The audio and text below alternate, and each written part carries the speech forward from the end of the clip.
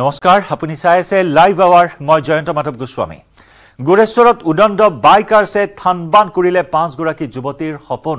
অসম আৰক্ষীত চাকৰি কৰাৰ সপোন দেখা বিছ বছৰীয়া ডিম্পী কৈৱৰ্তৰ প্ৰাণ কাঢ়িলে এটা উদণ্ড বাইকাৰ্ছে।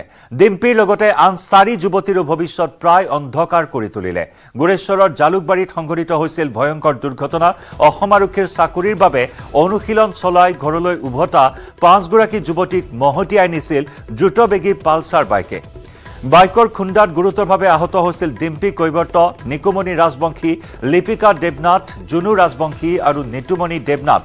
ইয়াৰে ডিম্পী কৈৱৰ্ত লিপিকা দেৱনাথ আৰু জুনু ৰাজবংশীক সংকটজনক অৱস্থাত প্ৰেৰণ কৰা হয় জি এম চি এইচলৈ। কিন্তু মাজ বাটতেই অকাল মৃত্যুক আঁকোৱালি ল'লে দুৰ্ঘটনাত গুৰুতৰভাৱে আহত ডিম্পী কৈৱৰ্তই।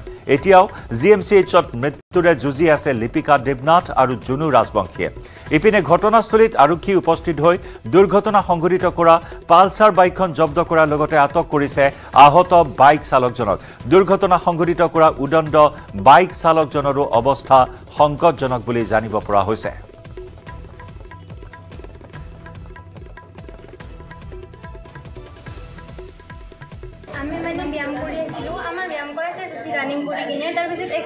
কিনে আমি ঘৰত গ'লোঁ হয় তাৰপিছত সি মাজৰ পৰা আহিছে আহি কিনে ল'ৰাকেইটা এটা আছে যিকেইটা মানে এক্সিডেণ্ট হৈছে সেইকেইটা মাজতে আছে। সি একদম জোৰেকৈ আহি কিনে মাজৰ পৰা যিকেইটা ছোৱালী আছিল গোটেইকেইটাকে একদম উৰাই লৈ যাই কিনে সিটো চিটকি পৰছি বাইকটো একদম এনেকৈ হেৰি কৰি দিছে আৰু যিকেইটা তলত পৰছি আৰু সেইকেইটা একদম পূৰা হেৰি হৈ গৈছে এজন চিৰিয়াছ আছে তাক গুৱাহাটী লৈ যোৱা হৈছে আৰু ইয়াতে আছে তিনিজনমান। আৰক্ষীত চাকৰি কৰাৰ সপোন এই যুৱতীকেইগৰাকীৰ আৰু সেই সপোনক বাস্তৱত ৰূপ দিয়াৰ বাবেই তেওঁলোকে দৈনিক অনুশীলন চলাইছিল। আৰু সেই অনুশীলন সামৰি ঘৰলৈ উভতি অহাৰ পথত ঘাতকৰূপী বাইকৰ খুন্দাত প্ৰাণ হেৰুৱালে ডিম্পী কৈৱৰ্ত নামৰ এগৰাকী দুৰ্ভগীয়া যুৱতীয়ে। পাঁচগৰাকীকৈ যুৱতী গুৰুতৰভাৱে আঘাতপ্ৰাপ্ত হয়। ইয়াৰে ডিম্পী কৈৱৰ্ত নামৰ যুৱতীগৰাকীয়ে উন্নত চিকিৎসাৰ বাবে গুৱাহাটীলৈ তেওঁক প্ৰেৰণ কৰাৰ সময়তে আদবাটতে মৃত্যুক আঁকোৱালি লয়। ইতিমধ্যে উদণ্ড বাইকাৰ্ছ উদণ্ড বাইকাৰ্ছজনকো ইতিমধ্যে সংকটজনক অৱস্থাত হাস্পতালত ভৰ্তি কৰোৱা হৈছে। সতীৰ্থ সাংবাদিক Balen Bhattacharya G M C এইচত আছে এই মুহূৰ্তত পোনপটীয়া সম্প্ৰচাৰত বলেন আপোনাৰ সৈতে সংযুক্ত হৈছো। কেনেকুৱা বৰ্তমান স্বাস্থ্যৰ অৱস্থা জানিব পৰা হৈছে দুগৰাকী আঘাতপ্ৰাপ্ত যুৱতীক জি এম চি এইচত চিকিৎসাধীন কৰোৱা হৈছে। হয় জয়ন্ত এক ভয়ংকৰ পথ দুৰ্ঘটনা আৰু সেই দুৰ্ঘটনাৰ হিচাপে চোৱা হয় যদি আচলতে বাইক আৰু সেই সম্পূৰ্ণ ভুলৰ বাবে এই ঘটনা সংঘটিত হৈছিল আৰু অঘটন সংঘটিত হোৱাৰ পিছতে নিশাই ভাগতে গুৱাহাটী চিকিৎসা মহাবিদ্যালয়ত ভৰ্তি কৰিবলৈকে তিনিগৰাকীকৈ যুৱতীকে লৈ অহা হৈছিলে যদিও বা আধা বাটতে দেখিবলৈ পোৱা গৈছে এগৰাকী শেষ নিশ্বাস ত্যাগ কৰিছে আৰু তাৰপিছত দুগৰাকী এই মুহূৰ্তত মৃত্যু যন্ত্ৰণাৰে এই মুহূৰ্তত গুৱাহাটী চিকিৎসা মহাবিদ্যালয়ত যুঁজিছে আৰু সেই ধৰণে চিকিৎসকৰ পৰা লাভ কৰা তথ্য অনুসৰি যে তেখেতসকলে বিপদমুক্ত বুলি কৈছিল আৰু তেখেতসকলৰ এই মুহূৰ্তত চিকিৎসা চলি আছে।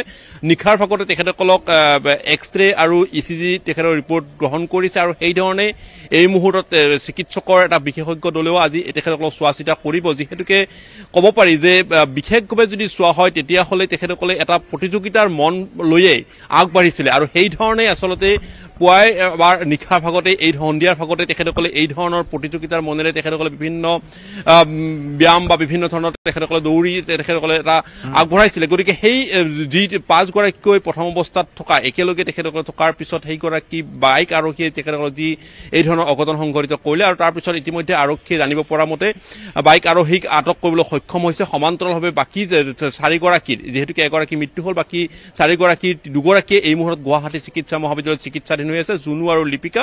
দুগৰাকীক চিকিৎসকে এই মুহূৰ্তত বিপদমুক্ত বুলি উল্লেখ কৰিছে আৰু কিন্তু তেখেতসকলৰ সম্ভৱতঃ অস্ত্ৰোপচাৰ হোৱাৰ সম্ভাৱনা আছে। চিকিৎসকে সেই দিশটো আজিৰ দিনৰ ভাগত চোৱা চিতা কৰিব কিন্তু এই তেওঁলোকৰ যি তেওঁলোকৰ যি ইচ্ছা আছিল তেওঁলোকৰ যি সপোন আছিল তেওঁলোকে আৰক্ষীত চাকৰি কৰিব তাৰ বাবে শাৰীৰিক কচৰত সদায় কৰি আহিছে আৰু এই ঘাতকৰূপী বাইকৰ খুন্দাত ইতিমধ্যে ডিম্পীয়ে প্ৰাণ হেৰুৱালে।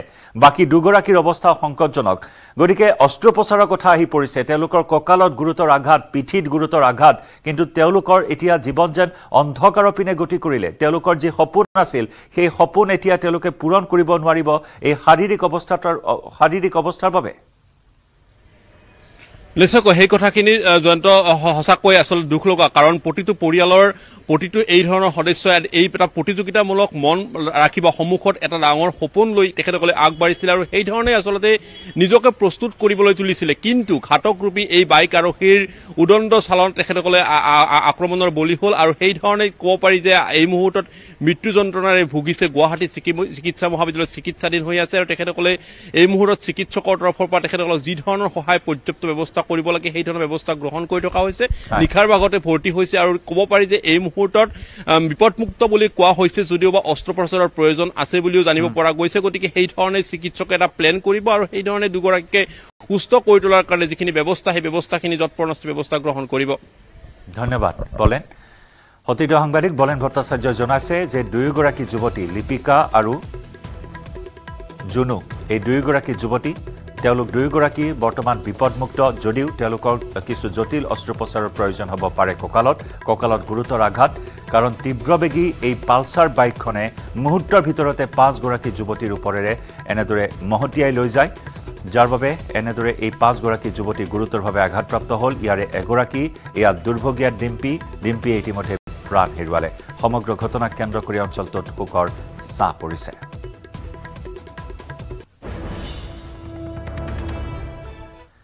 মৰিয়নিৰ চেলেংহাটত পুৱাই অঘটন। ডাম্পাৰক খুন্দাত প্ৰাণ হেৰুৱাবলগীয়া হ'ল এগৰাকী মহিলাই। তীব্ৰবেগী বালি কঢ়িওৱা ডাম্পাৰে মহতিয়াই নিয়ে। প্ৰাতঃভ্ৰমণ কৰিবলৈ যোৱা এগৰাকী মহিলাক। থিতাতে নিহত হয় চেলেংহাট টেঙাবাৰীৰ মল্লিকা গগৈ দুৱৰা নামৰ এগৰাকী মহিলা। বন বিভাগৰ পৃষ্ঠপোষকতাত জাজি নৈত চলি অহা অবৈধ বালি মহলৰ পৰা বালি কঢ়িওৱা ডাম্পাৰত দৌৰাত্মত ক্ষুব্ধ ৰাইজ। মহিলাগৰাকীৰ মৃত্যুৰ পিছতে উত্তপ্ত পৰিস্থিতিৰ সৃষ্টি হয় অঞ্চলটোত। প্ৰাতঃভ্ৰমণ কৰিবলৈ যোৱা এইগৰাকী মহিলাক মহতিয়াই নিয়ে তীব্ৰবেগী বালি কঢ়িওৱা ট্ৰাকে ট্ৰাক ডাম্পাৰত দৌৰাত্মত এনেদৰে বিভিন্নজনে প্ৰাণ হেৰুৱাবলগীয়া হৈছে। বন বিভাগৰ পৃষ্ঠপোষকতাত চলি থকা বালি মহলৰ পৰা বালি কঢ়িওৱা ডাম্পাৰত দৌৰাত্ম অঞ্চলটোত শেহতীয়াকৈ বৃদ্ধি পাইছে যাৰ বাবে এক প্ৰকাৰ নিৰাপত্তাহীনতাত যেন ভুগিবলগীয়া হৈছে অঞ্চলটোৰ লোকসকলে। আৰু আজি পুৱা এই অঘটন এই অঘটন সংঘটিত হোৱাৰ পাছতে অঞ্চলটোত তীব্ৰ উত্তেজনাই বিৰাজ কৰে। এতিয়া তেওঁতো এজন এগৰাকী জনা বুজা মানুহ ছাইডেদি গৈ থকা তেনেকুৱা হৈছে। এতিয়া আমাৰ ল'ৰা ছোৱালী এইবোৰো ভয় হৈছে। নিজৰ প্ৰতি নিজৰো একো মানে হেৰি নাইকিয়া হৈছে। নিশ্চয়তা নাইকিয়া হৈছে। মানে বাইলি গাড়ীবোৰ ইমানে মানে নিজৰ মই মতালি কোনো চলনৰ ওপৰত সিহঁতৰ কণ্ট্ৰল নাই। এই বোলে ল'ৰা ছোৱালী আছে গৰু গাই গৰু গাই আছে বোলে কিবা আছে অকণমান লাহেকৈ যাব লাগে। টাৰ্ণিংটোতো মানে এনেকুৱা স্পীডত ঘূৰাই সিহঁতি টাৰ্ণিং কেতিয়াবা মানে হেৰি কৰি যায়। মহতিয়াই নিবলৈ বিচাৰে।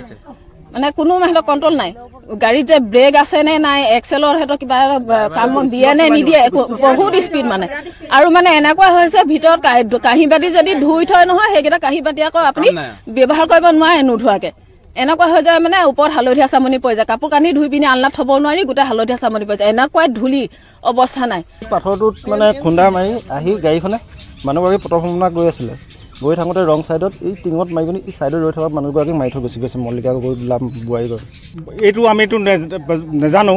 এতিয়া মানে হ'ল কি ফৰেষ্টৰ আহে ডি চি আহে হে কোন কোন আহে চাই মেলি উভতি গুচি যায়গৈ। হে এই ৰাস্তা পদূলি আপুনি আহো- আহোঁতে দেখিছে নহয় ৰাস্তাটো কেনেকুৱা হৈ আছে। নকছাৰীৰ পৰা আমাৰ সাংবাদিক জ্যোতিপ্ৰসাদ গগৈৰ প্ৰতিবেদন আগবঢ়াম আহ, নিশ্চয়কৈ আচলতে মৰিয়নিত আজি পুৱাই এক অঘটন সংঘটিত হ'ল যি ঘটনাক লৈ আচলতে সমগ্ৰ অঞ্চলটোতে চাঞ্চল্যৰ সৃষ্টি হৈছে প্ৰতিক্ৰিয়াৰ সৃষ্টি হৈছে। যিহেতু মৰিয়নিৰ চেলেংহাট জাজি নদীৰ যি বালিখনত বালিৰ যি ডাম্পাৰৰ দৌৰাত্মত এগৰাকী মহিলাই আচলতে অকালতে মৃত্যুক সাৱটি ল'বলগীয়া হ'ল পুৱাই পাট ভ্ৰমণৰ বাবে ওলাই আহিছিল। মল্লিকা গগৈ দুৱাৰ নামৰ এগৰাকী মহিলা ওলাই আহিছিল। আৰু এখন বালি পৰিবাহী যিখন এখন ডাম্পাৰে ডাম্পাৰে আচলতে খুন্দিওৱাৰ ফলত থিতাতে নিহত হ'ল সেই মহিলাগৰাকী। আৰু তাৰ পাছতে আচলতে উত্তপ্ত এক পৰিস্থিতিৰ সৃষ্টি হৈছে। দেখিছে এনেদৰে যি বালিঘাট যি এই বালিঘাটত আচলতে যি অবৈধ বালিঘাট সেই বালিঘাটত এনেদৰে আচলতে এতিয়া ৰাইজে সমাগম কৰিছে। ৰাইজ আহি উপস্থিত হৈছেহি আচলতে যি তে- তীব্ৰবেগী বালি পৰিবাহী যিসমূহ ডাম্পাৰ দূৰাত্ম দীৰ্ঘ দিনৰ পৰা অভিযোগ উত্থাপন হৈ আহিছিল যে ৰাইজক অতিষ্ঠ কৰি আহিছিল। এনে সময়ত আচলতে এই ঘটনাই পুনৰবাৰ আচলতে ৰাইজক আচলতে ক্ষোভিত কৰি তুলিছে। বাইদেউ মই আপোনাৰ কাষলৈ আহিছোঁ। আজি পুৱাই আছে বৰ ডাঙৰ দুখ লগা ঘটনা সংঘটিত হৈছে। কি ক'ব?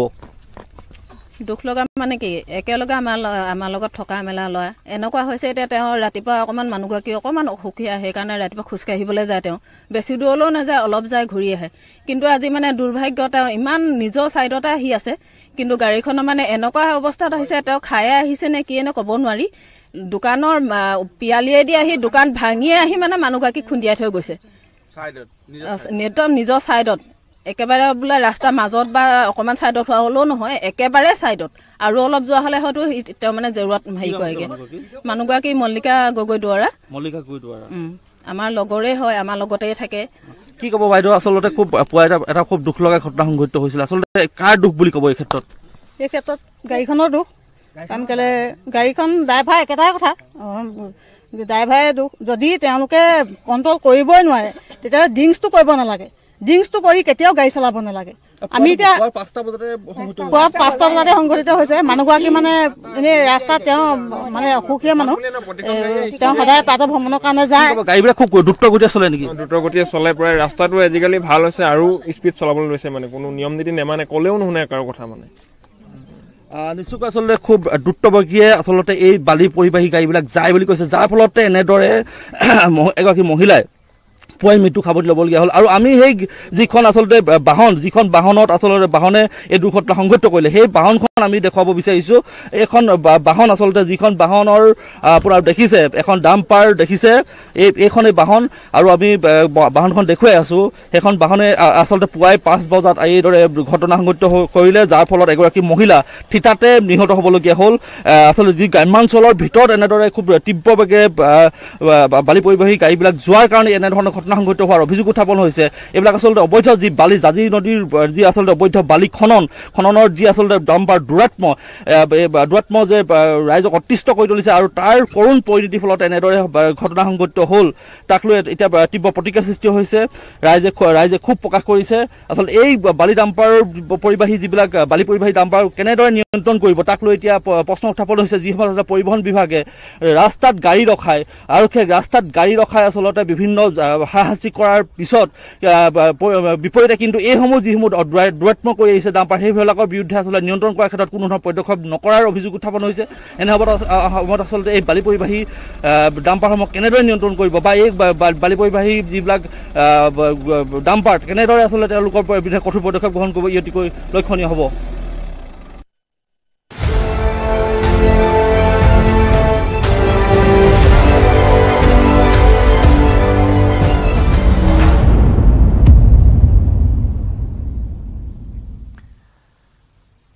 তুংগত উঠিছে লোকসভা নিৰ্বাচনৰ প্ৰচাৰ অভিযান। নিৰ্বাচনী প্ৰচাৰৰ বাবে উত্তৰ পূবলৈ আগমন ঘটিছে শাসক বিৰোধীৰ হাই প্ৰফাইল নেতাৰ। আজি একেদিনাই উত্তৰ পূবলৈ আহিব দুগৰাকীকৈ কেন্দ্ৰীয় মন্ত্ৰী। নিৰ্বাচনী প্ৰচাৰৰ বাবে আজি আহিব কেন্দ্ৰীয় গৃহমন্ত্ৰী অমিত শ্বাহ আৰু কেন্দ্ৰীয় প্ৰতিৰক্ষা মন্ত্ৰী ৰাজনাথ সিং। গৃহমন্ত্ৰী অমিত শ্বাহে অসমৰ দুখন জিলাত চলাব নিৰ্বাচনী প্ৰচাৰ। দিনৰ দুই বজাত উত্তৰ লখিমপুৰত অনুষ্ঠিত হ'ব অমিত শ্বাহৰ নিৰ্বাচনী সভা। উত্তৰ লখিমপুৰৰ চুকুলিভৰীয়াত জনসভা সম্বোধন কৰি সন্ধিয়া তিনিচুকীয়ালৈ যাব গৃহমন্ত্ৰীগৰাকী। সন্ধিয়া ছয় বাজি ত্ৰিছ মিনিটত তিনিচুকীয়াৰ চলিহা নগৰৰ পৰা থানা চাৰিআলিলৈ পদযাত্ৰা কৰি নিৰ্বাচনী প্ৰচাৰ চলাব অমিত শ্বাহে। ইপিনে নিৰ্বাচনী প্ৰচাৰৰ বাবে অৰুণাচললৈ আহিব কেন্দ্ৰীয় প্ৰতিৰক্ষা মন্ত্ৰী ৰাজনাথ সিং। দুপৰীয়া এক বাজি পঞ্চল্লিছ মিনিটত অৰুণাচল প্ৰদেশৰ নামচাইত কেন্দ্ৰীয় মন্ত্ৰী ৰাজনাথ সিঙে চলাব নিৰ্বাচনী প্ৰচাৰ প্ৰথমে লখিমপুৰত জনসভাত অংশগ্ৰহণ কৰিব কেন্দ্ৰীয় গৃহমন্ত্ৰী অমিত শ্বাহে। সন্ধিয়া ছয় বাজি ত্ৰিছ মিনিটত তিনিচুকীয়াত ডিব্ৰুগড়ৰ প্ৰাৰ্থী সৰ্বানন্দ সোণোৱালৰ হৈ প্ৰচাৰ চলাব কেন্দ্ৰীয় গৃহমন্ত্ৰী অমিত শ্বাহে। ঠিক তেনেদৰে আজি দুই বাজি পঞ্চল্লিছ মিনিটত নামচাইত প্ৰচাৰ অভিযানত অংশগ্ৰহণ কৰিব কেন্দ্ৰীয় প্ৰতিৰক্ষা মন্ত্ৰী ৰাজনাথ সিঙে এনেদৰে নিৰ্বাচনী গৰম বতাহ বলিছে ৰাজ্যত। অসমৰ চৈধ্যটা সমষ্টিৰ বাবে নিৰ্বাচনী ৰণাংগন এই ৰণাংগনত জঁপিয়াই পৰিছে প্ৰচাৰ অভিযানেৰে মুখ্যমন্ত্ৰী ডক্টৰ হিমন্ত বিশ্ব শৰ্মাই। এক এপ্ৰিলৰ পৰা সোতৰ এপ্ৰিল পৰ্যন্ত ধাৰাবাহিক নিৰ্বাচনী প্ৰচাৰ অভিযানত মুখ্যমন্ত্ৰীয়ে অংশগ্ৰহণ কৰাৰ সমান্তৰালকৈ এই প্ৰচাৰ অভিযানক আন এক মাত্ৰা দিবলৈ আজি আহিব কেন্দ্ৰীয় গৃহমন্ত্ৰী অমিত শ্বাহ উত্তৰ পূৰ্বাঞ্চললৈ আহিব দুগৰাকীকৈ কেন্দ্ৰীয় মন্ত্ৰী। অৰুণাচলৰ নামচাইলৈ আহিব কেন্দ্ৰীয় প্ৰতিৰক্ষা মন্ত্ৰী ৰাজনাথ সিং। ইতিমধ্যে লখিমপুৰত প্ৰস্তুতি তুংগত কেন্দ্ৰীয় গৃহমন্ত্ৰীক আদৰিবলৈ প্ৰায় ষাঠি হাজাৰ লোকৰ সমাগম হ'ব অমিত শ্বাহৰ জনসভাত। বিজেপিৰ প্ৰাৰ্থী প্ৰদান বৰুৱাৰ হৈ নিৰ্বাচনী প্ৰচাৰ চলাব কেন্দ্ৰীয় গৃহমন্ত্ৰী অমিত শ্বাহে। ইফালে ডিব্ৰুগড়ৰ হেভিৱেইট প্ৰাৰ্থী সৰ্বানন্দ সোণোৱালৰ হৈ প্ৰচাৰ চলাব সন্ধিয়া ছয় বাজি ত্ৰিছ মিনিটত তিনিচুকীয়ালৈ যাব কেন্দ্ৰীয় গৃহমন্ত্ৰীগৰাকীয়ে। গৃহমন্ত্ৰীৰ আগমনক কেন্দ্ৰ কৰি লখিমপুৰ আৰু তিনিচুকীয়াত এক উৎসৱমুখৰ পৰিৱেশে বিৰাজ কৰিছে বিজেপি শিবিৰত।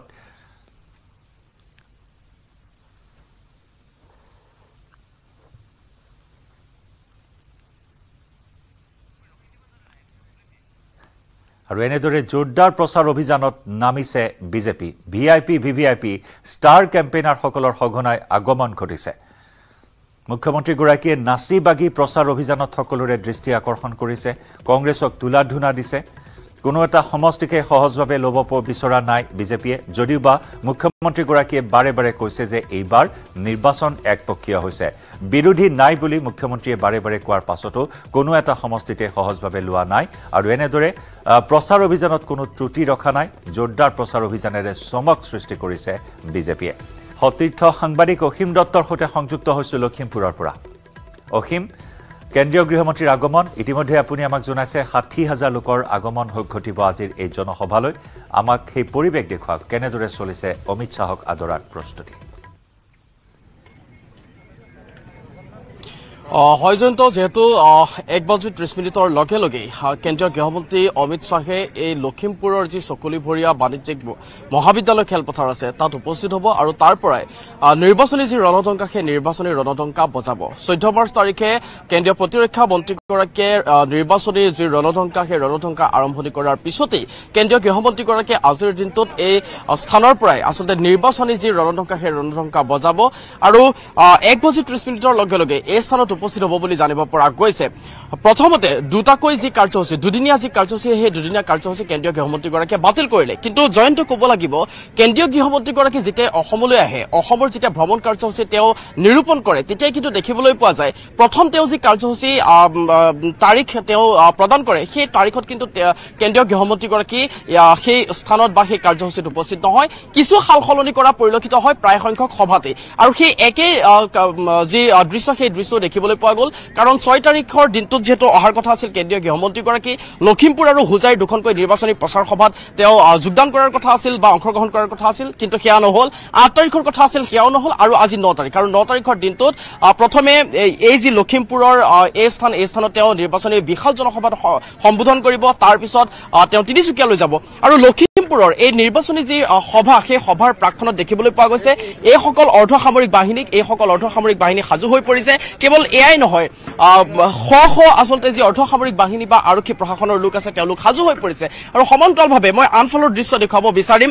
নিৰাপত্তাজনিত যিটো ব্যৱস্থা এগৰাকী যিহেতু কেন্দ্ৰীয় গৃহমন্ত্ৰী গৃহমন্ত্ৰী আহিব গতিকে কেন্দ্ৰীয় গৃহমন্ত্ৰীগৰাকীৰ আগমনৰ লগে লগে যি আচলতে যাৱতীয় যি ব্যৱস্থা থাকিব লাগে বা যাৱতীয় যি সুৰুগা নথকা বা পানী নসৰকা যি আচলতে নিৰাপত্তা ব্যৱস্থা নিৰাপত্তা যি দিশ সেই দিশ যি থাকিব লাগে ঠিক তেনেদৰেই লখিমপুৰ আৰক্ষী প্ৰশাসনে বা লখিমপুৰ জিলা প্ৰশাসনে তন্ন তন্নকৈ এই দিশসমূহত গুৰুত্ব প্ৰদান কৰা পৰিলক্ষিত হৈছে। মুঠতে বিভিন্ন প্ৰান্তৰ পৰা যিসকল অৰ্ধসামৰিক বাহিনী আৰক্ষী প্ৰশাসনৰ লোক আছে তেওঁলোকে এই স্থানত উপস্থিত হৈছে।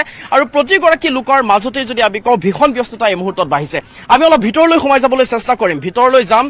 যিহেতু যি সামগ্ৰিক পৰিৱেশ সেই সামগ্ৰিক পৰিৱেশ আমি নিউজ এইটিন অসম নৰ্থ ইষ্টৰ দৰ্শকসকলক দেখুৱাব বিচাৰিছো। সন্মুখত যিহেতু মঞ্চ সাজু হৈ আছে সন্মুখত মঞ্চ সাজু আৰু সেই মঞ্চতেই এক বাজি ত্ৰিছ মিনিটৰ লগে লগে যি গৃহমন্ত্ৰীগৰাকী সেই গৃহমন্ত্ৰীগৰাকী উপস্থিত হ'ব। কেন্দ্ৰীয় গৃহমন্ত্ৰীগৰাকীৰ লগত উপস্থিত থাকিব মুখ্যমন্ত্ৰী ডক্টৰ হিমন্ত বিশ্ব শৰ্মা আৰু ৰাজ্যিক বিজেপিৰ কেইবাগৰাকীও শীৰ্ষ নেতৃত্বও এই স্থানত উপস্থিত হ'ব। আৰু এই স্থানত মই যি স্থানত এই মুহূৰ্তত আছো এই স্থানৰ যিসমূহ চকী আছে শাৰী শাৰীকৈ যিসমূহ চকী আছে এই চকীসমূহত ষাঠি হাজাৰ ষাঠি হাজাৰ লোকৰ যি অংশগ্ৰহণ সেই ষাঠি হাজাৰ লোকৰ অংশগ্ৰহণ হ'ব বুলি বা ষাঠি হাজাৰ লোক ইয়ালৈ আহিব বুলি ইতিমধ্যে বিজেপিৰ যিসকল কৰ্মকৰ্তা আছে তেওঁলোকে মন্তব্য কৰা দেখিবলৈ পোৱা গৈছে। আৰু গুৰুত্বপূৰ্ণ বিষয়টো হৈছে জয়ন্ত। কেন্দ্ৰীয় গৃহমন্ত্ৰীগৰাকী ইয়াত উপস্থিত হোৱাৰ পিছত মুখ্যমন্ত্ৰীগৰাকী ইয়াত উপস্থিত হোৱাৰ পিছত লখিমপুৰ জিলাৰ কেইগৰাকীমান বিশেষকৈ এই মুহূৰ্ত পৰ্যন্ত আমি দুগৰাকীৰ খবৰ লাভ কৰিছো। দুগৰাকীকৈ লখিমপুৰ জিলাৰ আন দলৰ শীৰ্ষ যি বিষয়া বিষয়ববীয়া আছে দুগৰাকীকৈ শীৰ্ষ আচলতে দলীয় আন দলৰ বা বিৰোধী দলৰ কৰ্মীয়ে বা বিৰোধী দলৰ নেতাই এই বিজেপি দলত বা ভাৰতীয় জনতা পাৰ্টীত যোগদান কৰাৰ কিন্তু পূৰ্ণ সম্ভাৱনা দেখিবলৈ পোৱা গৈছে। তাৰে ভিতৰত ঢকুৱাখানা সমষ্টিৰ এগৰাকী পূৰ্বৰ প্ৰাৰ্থী বুলি জানিব পৰা গৈছে। আৰু সমান্তৰালভাৱে আনগৰাকী কোন কিন্তু এই মুহূৰ্ত পৰ্যন্ত যদিও বা নিশ্চয়তা নাই। কিন্তু দুগৰাকীকৈ দুগৰাকীকৈ যে লখিমপুৰ জিলাৰ কংগ্ৰেছৰে হওক বা লখিমপুৰ জিলাৰ আন বিৰোধী দলৰে দুগৰাকীকৈ যে শীৰ্ষ নেতাই আজিৰ দিনটোত বিজেপি দলত যোগদান কৰিব মুখ্যমন্ত্ৰীগৰাকী বা গৃহমন্ত্ৰীগৰাকীৰ উপস্থিতিত। সেই কথা কিন্তু ইতিমধ্যে আমি খবৰ লাভ কৰিছো নিশ্চিত খবৰ লাভ কৰিছো আৰু গৃহমন্ত্ৰীগৰাকী অহাৰ পিছত বা গৃহমন্ত্ৰীগৰাকী এই স্থানত উপস্থিত হোৱাৰ পিছতেই এই যি নিৰ্বাচনী আচলতে জয়গান বা নিৰ্বাচনী যি ৰণদংকা সেই ৰণদংকা বজাব গৃহমন্ত্ৰীগৰাকীয়ে আৰু এই স্থানৰ পৰাই এক নতুন যুগৰ বা নিৰ্বাচনৰ প্ৰাক্ষণত লোকসভা নিৰ্বাচনৰ প্ৰাক্ষণত আন এক আচলতে বিজেপিৰ বা ভাৰতীয় জনতা পাৰ্টীৰ আন এক যুগৰ যে আৰম্ভণি হ'ব সেই কথাও কিন্তু ইতিমধ্যে অনুধাৱন কৰা হৈছে। জয়ন্ত। হয়। অসীম ধন্যবাদ আপোনাক এইখিনি মুহূৰ্তত। সতীৰ্থ সাংবাদিক অসীম দত্তই দেখুৱাইছে লখিমপুৰৰ এই ব্যাপক প্ৰস্তুতি কেন্দ্ৰীয় গৃহমন্ত্ৰীক আদৰাৰ। কটকটীয়া নিৰাপত্তা বেষ্টনীৰ মাজত কেন্দ্ৰীয় গৃহমন্ত্ৰীৰ আগমন ঘটিব। সংগ দিব মুখ্যমন্ত্ৰী ডক্টৰ হিমন্ত বিশ্ব শৰ্মাই আৰু আজি অমিত শ্বাহৰ এই জনসভাত লখিমপুৰৰ বিৰোধী দলৰ কেইবাগৰাকীও শীৰ্ষ নেতাই প্ৰায় দুই শতাধিক বিৰোধী দলৰ কৰ্মী সমৰ্থকে বিজেপিত যোগদান কৰাৰো খবৰ এই মুহূৰ্তত লাভ কৰা হৈছে।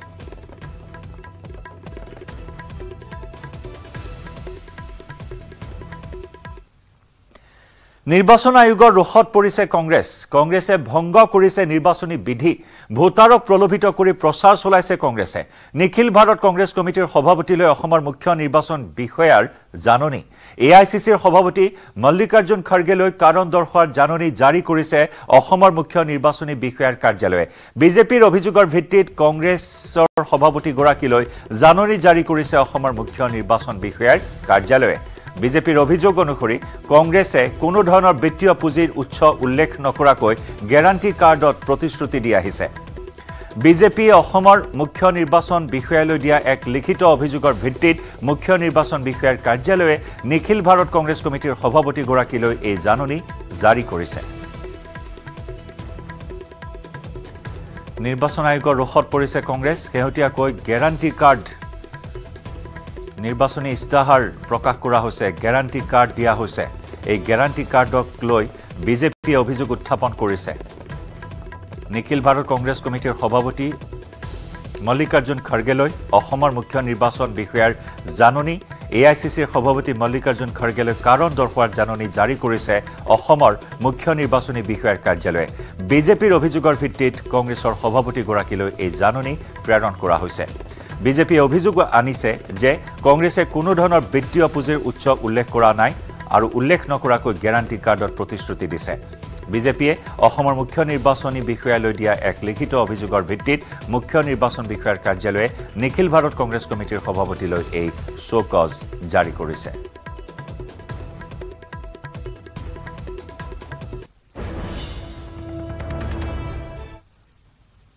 আমি লাইভ আৱাৰৰ সম্প্ৰচাৰ অব্যাহত ৰাখিম। সময় হৈছে এটা বাণিজ্যিক বিৰতি।